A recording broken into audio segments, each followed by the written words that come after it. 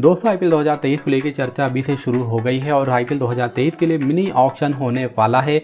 ये mini auction 16 दिसंबर को हो सकता है। आपको बता दें कि मिनी ऑक्शन से पहले सभी टीमें अपने रिलीज़ और रिटेन खिलाड़ियों की लिस्ट भी जारी कर देगी।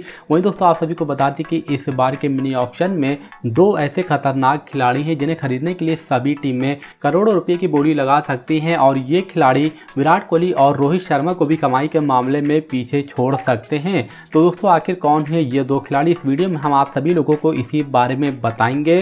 दोस्तों, हम जिन दो खिलाड़ियों के बारे में आपको बताने जा रहे हैं, उनमें सबसे पहले खिलाड़ी हैं ऑस्ट्रेलिया के कैमरन ग्रीन।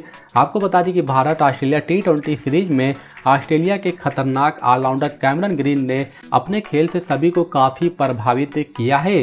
भारत के खिलाफ सीरीज़ में कैमरन ग्रीन ने शानदार बल्लेबाजी की। बल्लेबाजी के साथ साथ गेंदबाजी में भी वो काफ़ी प्रभावित रहे। इसके अलावा दोस्तों, आपको बता दें कि तीसरे टी में कैमरन ग्रीन ने मात्र उन्नीस गेंदों में भारत के खिलाफ तूफानी अर्धशतक भी जड़ा था। ऐसे में ये उम्मीद की जा रही है कि ये खिलाड़ी ऑलराउंड काबिलियत के बदौलत और शानदार प्रदर्शन के दम पर आईपीएल मिनी ऑक्शन में बड़ी रकम हासिल कर सकता है और सभी टीमें इस खिलाड़ी को खरीदने के लिए करोड़ों की बोली लगाएँगी। इसके अलावा दोस्तों लिस्ट में दूसरे खिलाड़ी हैं बेन स्टोक्स।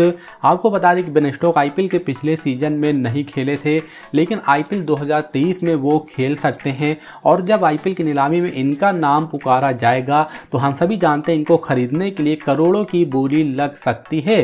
बेन स्टोक का प्रदर्शन आईपीएल में काफ़ी बेहतरीन भी रहा है। ये बेहद खतरनाक ऑलराउंडर है और इनकी गिनती दुनिया के सबसे खतरनाक ऑलराउंडर खिलाड़ियों में की जाती है। ऐसे में बेन स्टोक को मोटी रकम मिलना तो तय माना जा रहा है। तो दोस्तों, ये दो वो खिलाड़ी हैं जिन्हें इस बार आईपीएल 2023 के मिनी ऑक्शन में करोड़ों रुपए में खरीदा जा सकता है और इनकी बोली, कमाई के मामले में सभी खिलाड़ियों को पीछे छोड़ सकती है। तो दोस्तों, आप हमें कमेंट में बताएँ कि आपको क्या लगता है कि दोनों में से कौन सा खिलाड़ी ज़्यादा महँगा बिकेगा। अपनी राय हमें नीचे बताएँ वीडियो अच्छी लगी हो तो इसे लाइक और शेयर करना बिल्कुल ना भूलें।